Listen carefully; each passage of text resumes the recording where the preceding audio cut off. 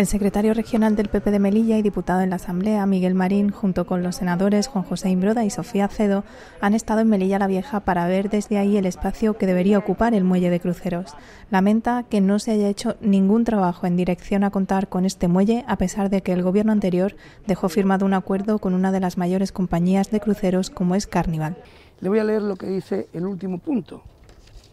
Definir conjuntamente un calendario con una vista inicial para abrir los atraques de cruceros en 2021.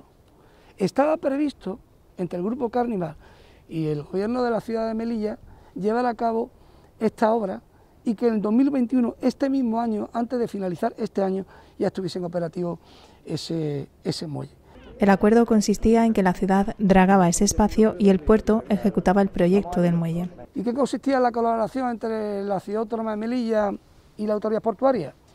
Uno, en que la Ciudad Autónoma de Melilla iba a dragar toda la zona que está a mi espalda, toda la zona donde iba el muelle de cruceros, la Ciudad Autónoma se encargaba de dragar y mientras la Ciudad Autónoma se encargaba de dragar, la Autoridad Portuaria sacaba a licitación el proyecto y la obra de ese muelle de cruceros. Y miren ustedes, estamos ahora mismo en junio, dos años después de la entrada de ese gobierno, y no hay absolutamente nada. No ha empezado el dragado. No digo que no haya empezado el dragado, es que ni siquiera está el proyecto de dragado. No, no se ha licitado por parte de la Autoridad Portuaria de Melilla el proyecto, porque hay que licitar el proyecto antes de licitar la adjudicación de la obra.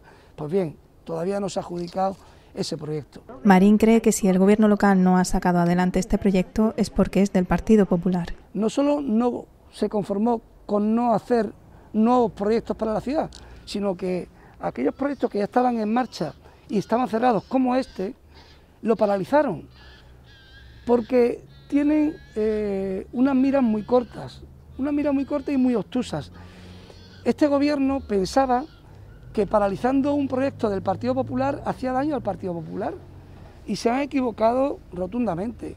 Paralizando un proyecto del Partido Popular como es este muelle de crucero, están haciendo un daño irreparable a Melilla y a los melillenses. Por último, el secretario regional del PP se ha comprometido a impulsar este proyecto cuando su formación vuelva al gobierno local.